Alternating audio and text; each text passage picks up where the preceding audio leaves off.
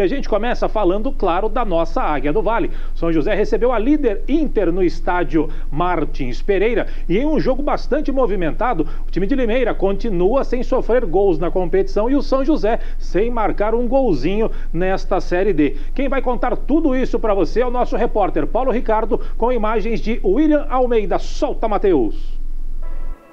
Atrás da primeira vitória no Brasileiro, o São José tinha pela frente o líder do grupo A7, a Inter.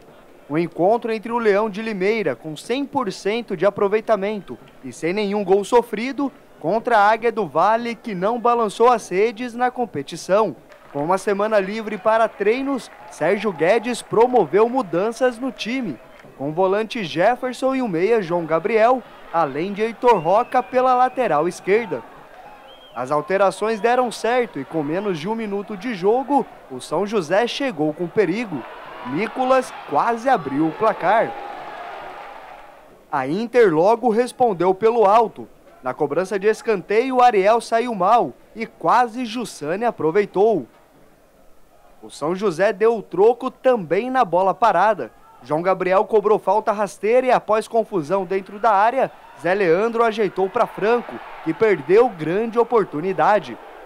No lance, o São José ainda reclamou de pênalti em cima do zagueiro, mas Eduardo Tomás mandou seguir. As melhores chances do Leão da Paulista eram pelo corredor esquerdo. Em jogada individual, Lucas Café soltou uma bomba e obrigou Ariel a se esticar todo, mandando para escanteio. Na cobrança, Cezinha desviou e Cauê, livre, cabeceou a queima-roupa. E Ariel operou um verdadeiro milagre.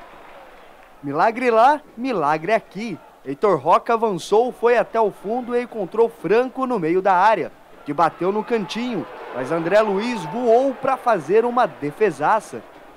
O jogo era bom e o São José pressionava a saída de bola. Neste lance, André Luiz entregou de graça nos pés de Franco, que se enrolou todo com a bola. E no último lance do primeiro tempo, Luiz Thiago cabeceou firme e André Luiz se redimiu do lance anterior. E o primeiro tempo, apesar de movimentado, continuava no 0 a 0. Os times voltaram dos vestiários sem alterações. E assim como terminou a primeira etapa, o segundo tempo começou com a Águia pressionando. Nicolas tabelou com João Gabriel, que bateu cruzado, André Luiz espalmou e o próprio João Gabriel, com displicência, mandou para longe. A defesa da Inter estava acuada. Luiz Thiago aproveitou a falha de marcação e quase marcou um golaço. Cansados, os times passaram a errar passes e o jogo ficou mais faltoso no meio-campo. A Águia ainda tentava criar pelos lados e foi novamente com a dupla Heitor Roca e Franco que quase saiu o gol mas o goleiro André Luiz, em dois tempos, estava lá para salvar o Leão. Sem criatividade, restava para a Águia os chutes de fora da área. Mas no apito final. Mais um 0 a 0 o terceiro dentro do Martins Pereira. O São José segue sem ganhar dentro do Brasileirão da Série D. Mas hoje, o time apresentou um desempenho melhor e trouxe um pouco de esperança para o torcedor joseense. O que falta? A efetividade e a contundência. Mas o controle do jogo foi melhor. Eu achei que a equipe teve o controle da situação contra um bom adversário. Então, isso é um prenúncio de melhora. Agora, o São José precisa buscar a vitória fora de casa contra o Água Santa. E para isso acontecer, Sérgio Guedes promete manter o estilo de jogo ofensivo. Agora a gente vai visita o adversário vai ser mais arrojado com a gente. E nós não vamos ser covardes, a gente, eu não tenho isso como linha de conduta. A gente vai enfrentar o próximo adversário, Água Santa, no Canindé, se não me engano, e a gente vai enfrentar o jogo como se estivéssemos jogando aqui em casa. Porque o momento diz que tenha que ser assim.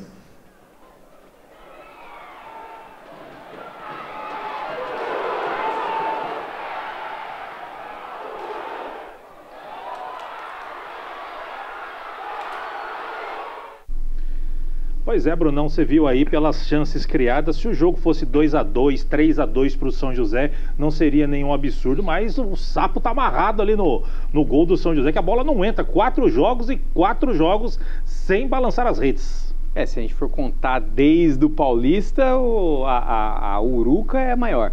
Mas, o, mas a gente teve um. Claramente a gente vê uma melhora, né? A gente até conversava durante a semana que o primeiro jogo não era para ter como, por torcedor do São José, ter como base do que poderia ser esse time do Sérgio Guedes com dois, três dias de treinamento só, dois dias e meio.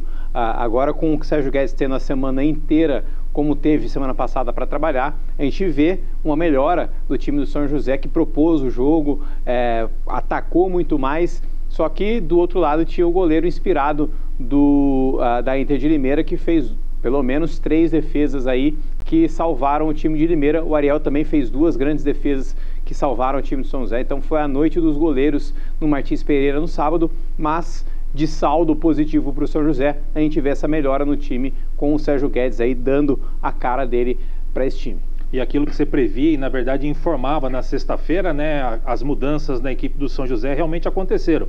Heitor Roca começou pela lateral esquerda, o Jefferson, volante, também começou jogando, João Gabriel jogando ali no meio junto com o Franco e o Nicolas jogando mais espetado ali na ponta, um, como se fosse um ponta esquerda, que eu acho que é onde ele rende mais e não, mesmo, né? não atrás, um pouco mais recuado, tentando armar a equipe, buscando o jogo. Eu acho que ele rende mais ali jogando pelas pontas, mais ou menos como jogava o Serafim. Aliás, o Serafim marcou gol neste último final de semana no confronto contra o Paysandu, Amazonas e Paysandu, ele que fez o gol da equipe do Amazonas, né? Valorizando o jogador que é do São José. Mas voltando aqui ao jogo, o São José veio modificado, mostrou melhor volume de jogo e com dois meias, o Franco e o João Gabriel, parece que produziram melhor, produziram mais chances para até sair com a vitória, mas infelizmente a bola não entrou. É, isso que você falou do Nicolas, né? O Nicolas tem habilidade, é rápido, então assim, é, era mais questão de posicionamento mesmo é, agora acho que encontrou, né, jogando como ponta de lança mesmo, é importante que o Nicolas reencontre o futebol dele, né, um futebol que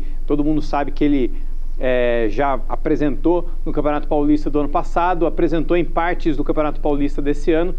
Está é, tá sendo muito criticado ainda pela torcida, mas quem acompanhou o São José mesmo nesses últimos dois anos sabe que o Nicolas é bom de bola, sabe que ele pode render muito mais do que ele rendeu do meio do Campeonato Paulista para cá. E o time do São José, mesmo com empate, mesmo aí, na situação, entre aspas, ruim na competição, né, em termos de classificação, a torcida aplaudiu aí o São José ao final do jogo, que é muito positivo, né? A torcida eh, viu essa melhora, que ela realmente aconteceu, viu que o time lutou e por uma força da natureza acabou não, não... É, pelo goleiro mesmo, né? O goleiro é. teve uma atuação de gala é, e acabou segurando esse empate. Pois é, mas é legal da torcida ter apoiado. Pouco mais de 1.600 torcedores foram ao estádio Martins Pereira e apoiaram a equipe do São José e aplaudiram mesmo com o empate, que tecnicamente, em termos de classificação, neste momento, não é das melhores. Por falar em classificação, antes da classificação, vamos dar uma olhadinha nos jogos desse final de semana. Grupo 7A é o grupo aí do São José. No sábado, três jogos. Santo André ficou no empate com o Água Santa. O Água Santa é o próximo adversário do São José, sábado que vem, lá no estádio do Canindé.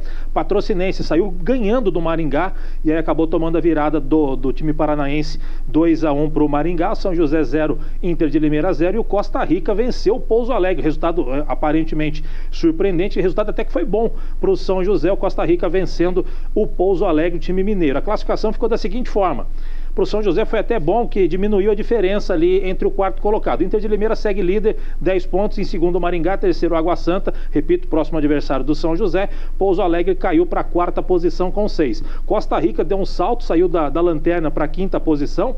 Em sexto, o Santo André. E em sétimo, o São José, na vice-lanterna do grupo. Mas se o São José vencer, dependendo das combinações de resultados, pode até, e dependendo do placar do jogo contra o Água Santa, pode até entrar no G4. É mais difícil por conta de saldo de gols, essas coisas, mas isso pode acontecer matematicamente falando. Uma vitória coloca o São José ali próximo do G4, Brunão. É, a vitória do Costa Rica pro São José foi ruim, mas foi bom. Foi ruim Exatamente. porque o São José acabou perdendo uma posição ali, uma, duas posições, enfim, foi ultrapassado pelo Costa Rica, mas foi bom porque o Pouso Alegre, que está em quarto, não disparou, não abriu esse gap, nessa né, distância da zona de, do, do Z4, do, aliás, do G4 ali do, do grupo para o resto, né, para os outros quatro do grupo. Então foi importante para o São José, apesar de ter sido ultrapassado pelo Costa Rica, foi ruim, mas acabou sendo bom, porque o São José não tem essa distância né, para recuperar um Pouso Alegre, como você bem falou, hum, dependendo da, do, das circunstâncias de combinação de resultado. Na semana que vem, caso vença o Água Santa pode entrar no G4. É um pouco difícil, mas caso vença, dá um, né, um alívio ali, dá um respiro a mais e já começa a ver uma, uma luz no fim do túnel para o grupo. Que seja assim, e claro, durante essa semana a gente vai acompanhar a preparação do São José para enfrentar o Água Santa, outra equipe forte deste grupo A7, e a gente vai trazer mais informações para você aqui no Hora do Esporte, tá certo?